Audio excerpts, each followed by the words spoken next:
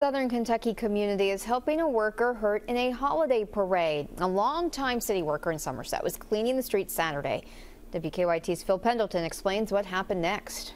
The accident took place Saturday night while sanitation workers were busy trying to clean the streets following a very popular Christmas parade through the city of Somerset. And it was during all of that process that worker Bruce Owens was simply hit by a car and suffered some serious injuries. Now, Owens is now at a Lexington hospital, and while I'm told his injuries are serious, they are very optimistic he will make a recovery. Mayor Alan Keck says Owens is an extremely dedicated worker who always goes the extra mile and is willing to do whatever it takes to get the job done. People know him because he works so hard and he always does it with a smile on his face. You know, whether that's literally doing the curbside pickup at times uh, or working our festivals, you'll see Bruce oftentimes not walking, but almost running to the next uh, venue to, to keep our city clean and beautiful. Somerset police are investigating what took place, and I just had an opportunity to look at the accident report. And according to what police are stating in that, they say that the driver told them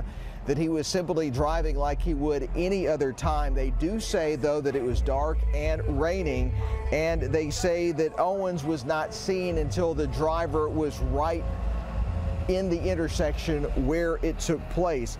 It also says the driver of the car that hit Owens didn't see the reflective vest that he was wearing because he was also wearing a leaf blower backpack contraption.